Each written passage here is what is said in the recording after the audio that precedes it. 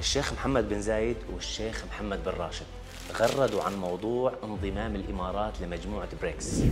بس شو يعني مجموعة بريكس أساسا؟ باختصار بريكس هي عبارة عن مجموعة تضم في عضويتها كل من البرازيل روسيا الهند الصين وجنوب أفريقيا وتهدف إلى تنمية التجارة والاقتصاد ومرونة سلاسل التوريد العالمية بالإضافة إلى تعدد الأقطاب الاقتصادية، يعني الثقل الاقتصادي لن يكون حكرا على أمريكا والغرب بعد الآن، بس هون خطر على بالي سؤال مهم.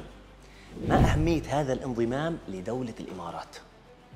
التعداد السكاني لهذه الدول يبلغ 42% من إجمالي سكان العالم نحن نتكلم عن نصف سكان العالم والناتج المحلي الإجمالي لهذه الدول المجتمعة يتجاوز ال 23% من الناتج المحلي الإجمالي العالمي.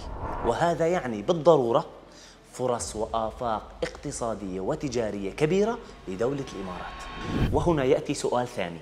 إذا كانت هذه الاقتصادات بهذه القوة لماذا كانت المجموعة حريصة على انضمام الإمارات لها؟ باختصار المجموعة حريصة على انضمام دول ذات اقتصادات قوية لها، وهذا ما تمثله دولة الإمارات فهي تتمتع باقتصاد قوي يرتكز على عدة عوامل.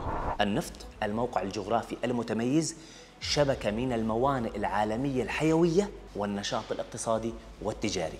الانضمام الفعلي لدولة الإمارات بالإضافة لخمس دول أخرى سيبدأ اعتبارا من 1 يناير 2024 هذا الانضمام يؤكد على توجهات دولة الإمارات بأنها جاهزة للعمل مع الجميع.